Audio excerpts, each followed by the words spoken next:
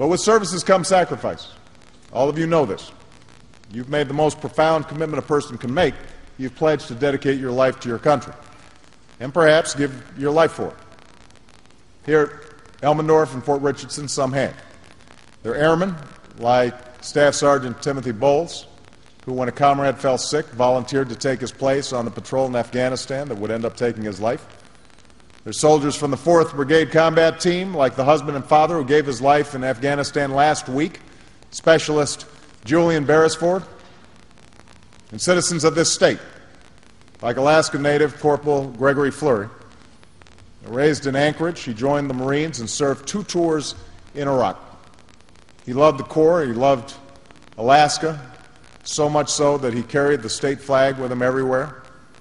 It was with him last month when he was killed in those helicopter crashes uh, in Afghanistan. Uh, a little while ago, I had the honor of meeting Greg's family, uh, Donna and Christopher, uh, and his grandfather Albert. Uh, and I expressed the gratitude of our nation, and we thank them for being with us here today. Donna, Albert, please stand.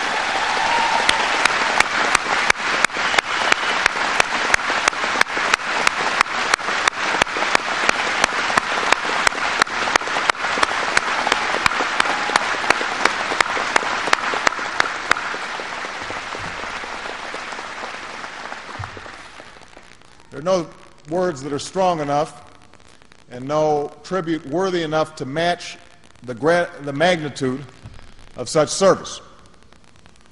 But to you and all who serve, I say this the American people thank you. We honor you. And just as you have fulfilled your responsibilities to your nation, your nation will fulfill its responsibilities to you. So, as your commander in chief, here's the commitment I make to you. We'll make sure you can meet the missions we ask of you. And that's why we're increasing the defense budget, including spending on the Air Force and the Army. We'll make sure We'll make sure we have the right force structure, so we've halted reductions in the Air Force, increased the size of the Army ahead of schedule, and also improved a temporary increase in the Army. We'll spend our defense dollars wisely.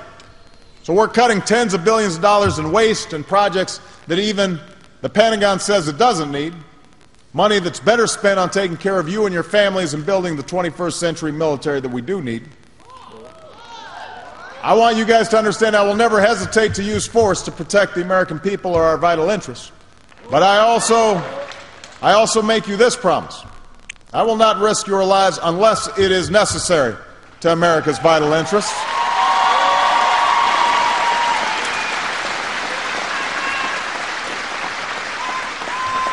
And if it is necessary, the United States of America will have your back. We'll give you the strategy and the clear mission you deserve. We'll give you the equipment and support that you need to get the job done, and that includes public support back home. That is a promise that I make to you.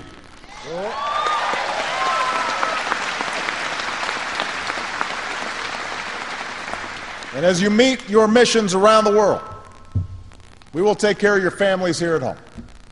That's why the First Lady, Michelle, has been visiting bases across the country. Go, Michelle. Your family is a priority for our family. So we're increasing pay, we're increasing child care, we're increasing support to help spouses and families deal with the stress and separation of war. And finally, we pledge to be there when you come home. We're improving care for our wounded warriors, especially those with PTSD and traumatic brain injuries. I want to salute the outstanding work you do at the hospital here on the base, including your new TBI clinic. Thank you for giving our wounded warriors the world class care they deserve. We're funding the post 9 11 GI Bill because we want to give we want to give your families the chance to pursue your dreams. And we're making the biggest commitment to our veterans, the largest percentage increase in the VA budget in more than 30 years. So these are the commitments I'm making to you. Because you've always taken care of America, and America has to take care of you back. America's obligation to our military, as we saw this week, is a sacred trust that we are honor bound to uphold. It's the sacred trust that brought a nation together this week around 13 battlefield crosses. It's the sacred trust that leads us to pause on that November day to give thanks for all those who served before us. It's the sacred trust that brings me here to say thank you for serving today. Thank you to you and your families for all you do to protect this country we love. God bless you, and God bless the United States of America. Thank you, everybody. Thank you.